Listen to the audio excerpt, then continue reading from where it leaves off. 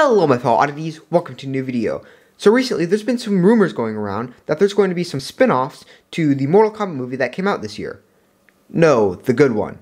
There you go. Now I'm really excited about this because I really like that movie, which seems to be a controversial opinion because some people are very very mixed on this movie.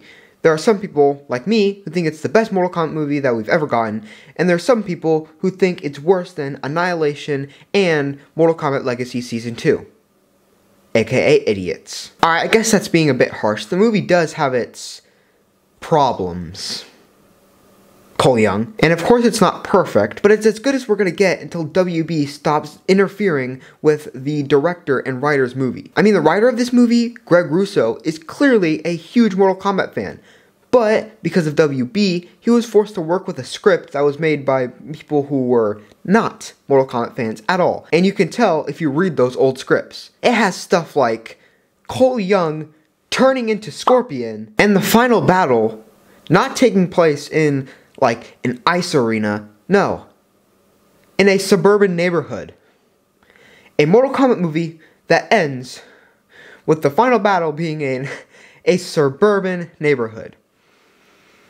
Yeah, the movie could have been a lot worse. But anyways, all of that is kind of a video for another time. Today, I'm going to be covering my top 5 spin-offs that I want to see to the Mortal Kombat movie 2021. But before we get started, remember if you end up enjoying the video, then you should definitely give it a like as it'll help my channel grow and get this video seen by more people. You should also subscribe and turn on the bell for all notifications so you get notified every single time I upload a new video.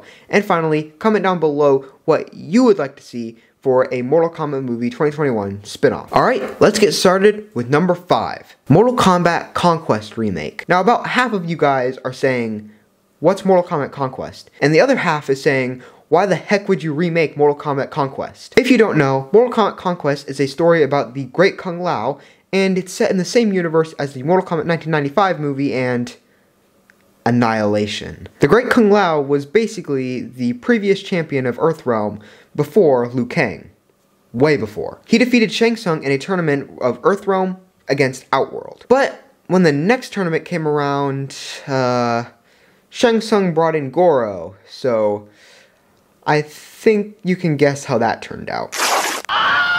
Now, Mortal Kombat Conquest was not very good. It was very boring. It was very drawn out and unnecessarily long.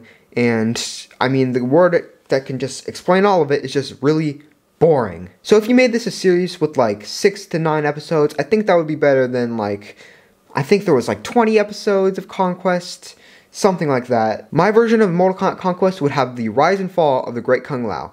It would start off with Kung Lao rising up and defeating Shang Tsung and then after that, well, Goro. I think a remake of the series would be very interesting since besides for Mortal Kombat Conquest, we haven't really explored any of the Mortal Kombat Great Kung Lao era. We're about to with Mortal Kombat 12, I'm assuming. But it'd be interesting to see it in this version of the story. I mean, we do know the Great Kung Lao exists in this universe because of some of the murals in Raiden's temple. But yep, that's all I have to say about that show. Going on to number four, the Special Forces show with Jax and Sonya. Now, there was a Special Forces game released in 2000 that is pretty widely considered the worst Mortal Kombat media ever produced. In fact, the development of this game caused the co-creator of Mortal Kombat, John Tobias, to completely leave the franchise. It was that bad. Now, a Special Forces TV show is probably one of the most popular spin-offs that people have been throwing around. And honestly, it's probably the second or third most likely to actually happen. Now, how would I do it? Well, my version would be after the events of that first Mortal Kombat movie. And basically, since Kano died, the Black Dragon have just been kind of all over the place without a leader. In fact, some of the Black Dragon go off and make their own new clan, the Red Dragon. This would allow for characters like Mavado, Tremor, Tasia, Jarek, Actually, I think Jarek's dead in this timeline, isn't he? I forgot about Jarek, that prick. Yeah, his head's probably on a stick somewhere by now. And even Hsu Hao. Yeah. But I personally wouldn't be that excited for this show just because Special Forces is like the least interesting side of Mortal Kombat. So it'll probably be fine. I'd of course watch it, but I doubt it's going to be anything mind blowing. And for number three, a Raiden spin-off. Now, I know what a lot of you are gonna say. Raiden was terrible in Mortal Kombat 2021. Why would you make a spin-off off of him? First of all, you're wrong. And second of all, even if he was a bad character in Mortal Kombat 2021, which he wasn't, wouldn't it make sense to build upon a character who wasn't done very well and make him better instead of just making more series on characters that we all know are going to be great? I mean, remember how many people hated Jackie Briggs in MKX? Now people actually kind of like her because of MK11. And that's because MK11 actually built upon her story instead of just doing nothing with it like MKX did. But anyway, I'm getting off topic with Jackie Briggs. We're talking about Raiden. This wouldn't actually be much of a Raiden spinoff, I just don't know what else to call it. It would actually be more of like the Gods spinoff, and by Gods I mean just Raiden and just Fujin. It would be basically a story about the fall of Shinnok. It would be kind of like the Star Wars prequels specifically episode 3, where Shinnok starts off as just a normal elder god who's doing fine, and then we just show his slow deterioration into the villain we all know and sort of love. Do people actually like Shinnok?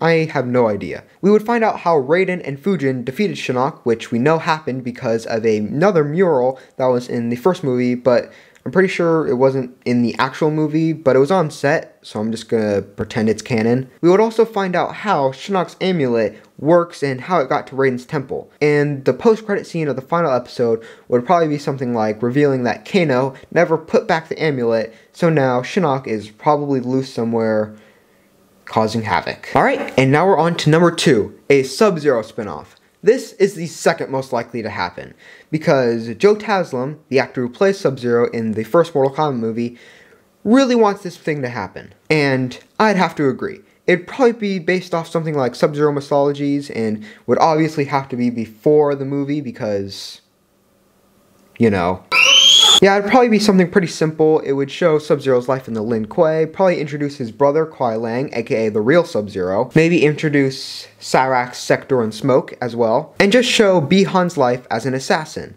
It would also probably tie into the Raiden show a little bit if they decided to do something with mythologies, and it would probably introduce Quan Chi, and maybe even have Shinnok in there somewhere. Who knows?